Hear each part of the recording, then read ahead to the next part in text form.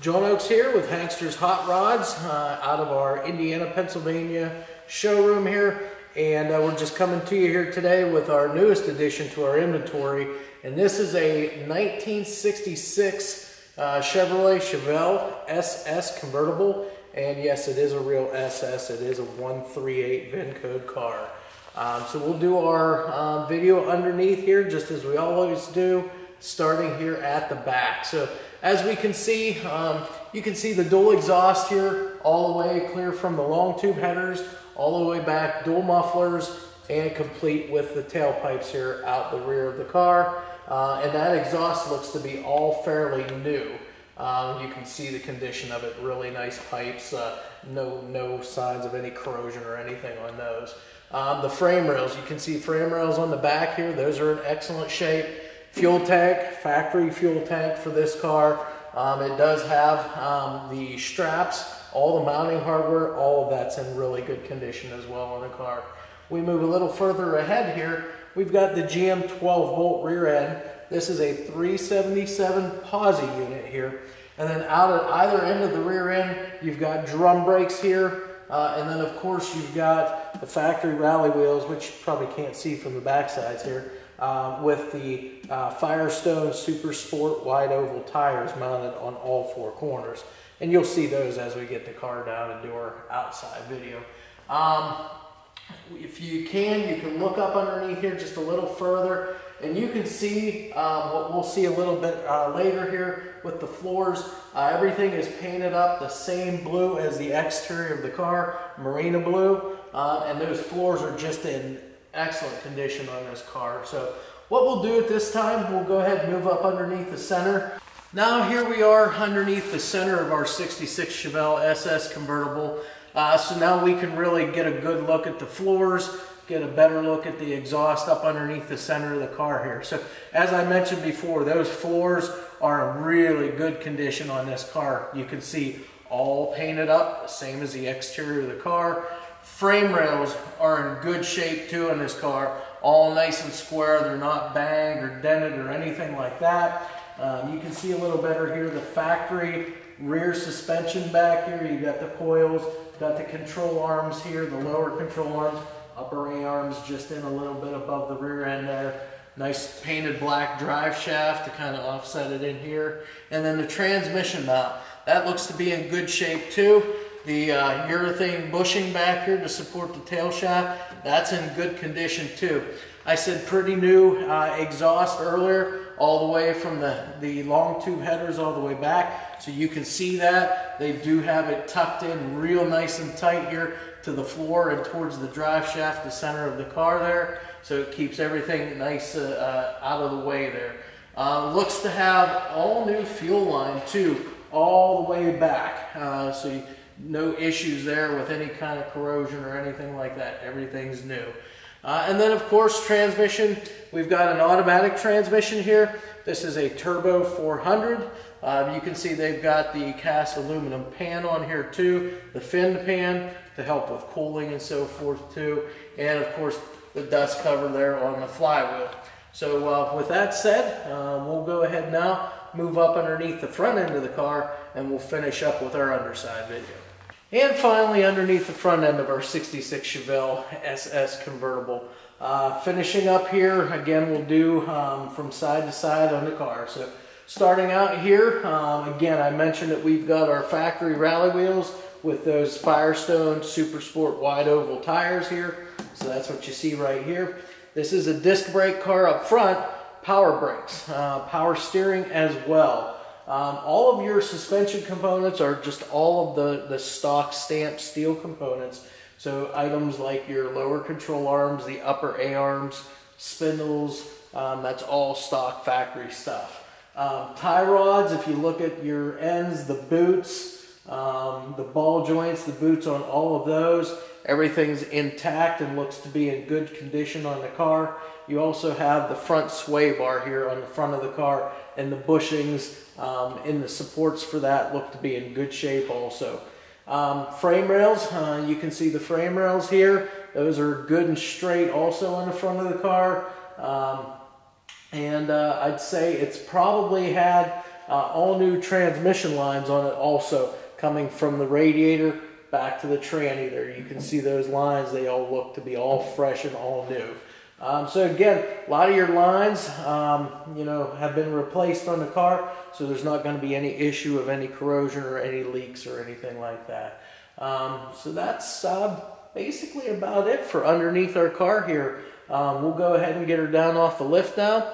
We'll do our video uh, walk around of the outside and show you, uh, you know, interior, the trunk, and we'll also get underneath the hood for you as well. All right, now we have our 66 Chevelle convertible SS down off the lift here so we can go around the outside here with you.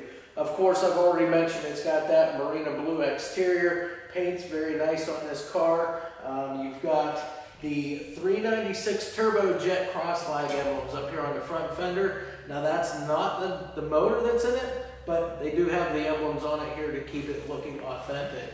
Um, you've got the steel SS hood with the vents there in the hood. Um, as again, I mentioned uh, the Redline Firestone Super Sport wide oval tires um, on those 14-inch factory style rally wheels, complete with beauty rings and center caps. Um, all the bright work on this car is in very nice condition. All the moldings around the windows, the uh, wing windows, everything like that. Um, you've got the driver's side mirror over here. This is just a manual adjust, not a remote adjust mirror. And again, that white convertible top. The top on this car is in very nice condition. Again, with some age there, you'll see, you know, some, some markings and so forth, but this top is in really good condition. Um, it does come complete with the parade boot, uh, which is also the blue color, um, and it can go on uh, whenever you have the top down. Door fitment, you can see here your door gaps the whole way around the door are really good. Um, elevations are good too on the doors. Um, we'll go over here and we'll open our door, take a look inside our car here, and you'll see we've got the all blue vinyl interior also to go along with the blue exterior. Um, this car does have the factory bucket seats in it. Uh, all the seat covers, both front and rear, are in really good condition. Factory dash, factory instrumentation. You'll have gauges like the battery and fuel gauge, the 120 mile an hour speedo, um, your temperature, and your oil gauge. You also have a knee knocker tach down there mounted under the dash, and you also have a factory automatic center console that does have the center console clock mounted in it. Factory heater controls, factory AM radio. Door panels on this car are in really good shape. Carpeting, um, it's, you know, it's blue carpeting and it's got, you know, a couple little stains here and there. But uh, again, all in all, in very good condition uh, for a mostly all original car. Um, the weather stripping around the door is in good shape. Um, again, it is a little bit older, um, so you will see a little bit of aging there. And you do have the factory rubber butt stops there on the door, both top and bottom. Uh, we'll go ahead and close the door up and then we'll continue on back. Quarter panel, again, panels, uh, fitment, alignment, everything like that, all good, nice and straight. Again, you've got a big car, so it's really easy to see all the nice straight lines on the car whenever you're standing here up close to it. Uh, again, those rally wheels with those red Redline Firestone tires, the Super Sport emblem back here on the quarter panel, uh, and that brings us to the rear of the car. So what we'll do now is come around back here, take a look at the back end, we'll open the trunk up and show you inside the trunk. All right, now that we're back behind our 66 Chevelle convertible SS, uh, you can take a look at the rear of the car now. All of, again, your bright work and your trim around the trunk and around the taillights, just like new here. The lenses on your taillights, no cracks, no chips. Those look to be pretty new too. Uh, nicely chromed rear bumper. We'll see the front one as well. It's just as nice back here. You've got the Chevelle uh, emblem back here, along with the SS396 back here, all on the tail panel of the car. We'll go ahead and we'll open up our trunk just to take a look inside. But everything in here is very nice as well. Again, the underside of the trunk, you see that marina blue color there. They have it followed through the whole car here. The weather stripping that goes the whole way around the trunk uh, very nice condition. That looks to be new, so sealing up from the elements should not be an issue with this car. And again, the trunk floor itself, all good and solid, all nicely finished off with the correct trunk spatter paint back in there that you would find in this car original. So uh, that's pretty much it back here. We'll go ahead and we'll close our trunk up. And then what we can do is take a look at your gaps here around the trunk. Those look to be really good, both side to side, very uniform. And the elevation, just about as good as what you could ask for.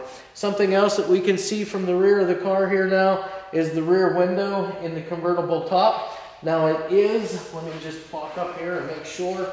Yep, it is just the plastic window, but again, a lot of times you'll see, you know, some like scratching and so forth in here. Not on this one. This is looks to be fairly new and in really good shape here. And again, all of that bright work, uh, the moldings around there is in excellent condition as well. So with that now, we'll go ahead, we'll come around now the passenger side of the car and work our way all the way up to the front of the car then. Now on the passenger side of the car, everything that's over here, we've already kind of gone over on the driver's side. So real quickly, just to kind of rehash, we've got the Super Sport emblems on the quarter panel. We've got the wheel lip moldings. You also have your trim work here along the bottom edge of the car, uh, all the way up underneath the doors there also. Again, the rally wheels, beauty rings and centers, those Redline Firestone Super Sport wide oval tires. Again, you get to see the condition of the convertible top on this side too. And again, it is very nice. You don't see any tears, no holes, no frayed edges, nothing like that. It's nice and tight and looks very good. No, no wrinkles either to even speak of. Uh, again, just really nice condition on that top. The door, again, the uh, gaps, both front and rear, very uniform on the car. The elevation of the door fitment, it's real good too. We'll go ahead and open up this door, take a look inside here now. Again, insides of the doors all the way around, the Marina Blue exterior paint. We've got the rubber bump stops both on the top and on the bottom. Weather stripping on this side looks to be really good. No signs of any cracks or tears on, on this side here. Door panel, very nice. All the screws that attach it intact. Uh, again, we have the factory dash, the factory bucket seats, no tears or cracks in any of the seats. Uh, and then like your door jamb U seals and everything like that. Threshold plates, those are in really good condition as well. I'm not sure if I mentioned on the other side, but we do have all of our seat belts present in this car. So front and rear belts all in the car. We'll close the door up. And you'll notice again, I only mentioned it has the driver's side mirror, nothing here on the passenger side. And then again, as we come up towards the front of the car, got the steel hood, you can see the vents on this side, wheel lip molding, the rally wheels, the Redline tires, and that 396 turbojet emblem, which again, that is not the motor that's in the car, but we'll get to that here in just a moment. Um, so with that said, we'll go around, come around the front of the car now. We'll get that hood up, and then we will take a look at what is under the hood for you. All right, finally now at the front end of our 66 Chevelle Super Sport convertible here. Uh, again, that front end, um, very you know iconic of the 66 Chevelle, uh, the whole muscle car era. You see this nose, you know what's coming towards you. Uh, again, the grill work on this car in very good shape. The blacked out grill, all the bright work in excellent condition as well. Got the three SS396 uh, grill emblem here right in the center.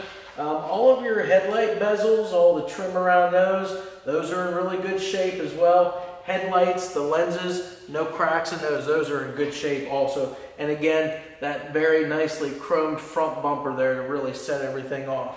Uh, again, I mentioned that we had the steel SS hood, complete with the SS scoops up in the center of the hood there. And again, you've got your little hood ornament here right on the front, all in good shape. What we'll do now is I'm going to go ahead and open the hood up, and now we'll talk about what's underneath the hood. Okay, so first thing we have here, you do notice, it is a big block car, but it's not the 396. They did replace this motor, swapped it out. This is a 1970 uh, LS5 454 cubic inch motor, 390 horse. Um, so again, they, they replaced it with a good replacement block. Uh, uh, for you know getting one in there. Uh, anyways, um, we have all the heater lines hooked up. You can see the chrome air cleaner and valve covers on the car. You'll see this side has the breather. Uh, the passenger side over here, we have the PCV valve in it, so carburetor and everything will breathe correctly. Um, you've got a Holley dual feed four barrel carburetor, complete with electric choke. You've got the power brakes back there, power steering down here. Got a factory style radiator in here, complete with a six blade cooling fan here, flex fan, and you have the shroud there on the fan as well. Aluminum intake, you've got the chrome uh, gooseneck here for your water, top water hose there.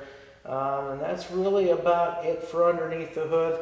Uh, long tube headers, and again, the underside of the hood painted that same marina blue exterior. And again, they've got all the hood insulation packed up inside that hood too. So that's about it. We'll go ahead and we'll fire it up then and show you what it sounds like. Uh, other than that though, um, any questions, uh, anything at all that we can help you with, definitely feel free to uh, give us a call or shoot us an email. We'll be glad to help in any way we can.